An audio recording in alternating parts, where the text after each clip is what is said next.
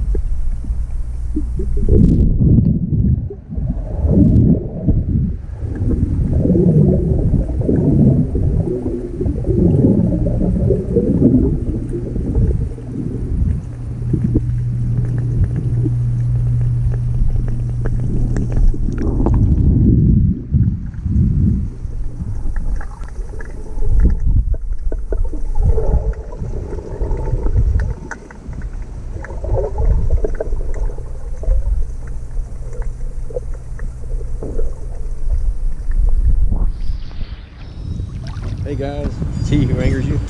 Just uh, wrapping up the little demonstration I have of the uh, Wildhorn Seaview 180.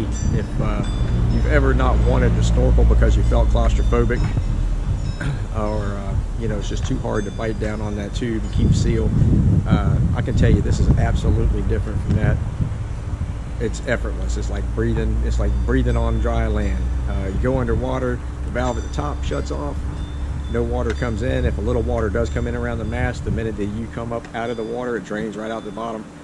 Um, it's it's easy breezy to use. If uh, do yourself a favor, if you tried snorkeling before and you didn't like it, or you couldn't do it, or you just felt like you couldn't breathe, pick yourself up one of these right here. It's going to make a world of difference. You're going to be able to do it with no problems. It's effortless. And uh, also, do me another favor. Uh, if you like this this helps you out, do me a favor, click the like button, subscribe, share with your friends, and uh, come back and check me out because I'll try to put up new stuff all the time. Also, uh, I have about a hundred cruise-related videos on my channel, so stick around, check those out. Cruise on. You guys have a good day.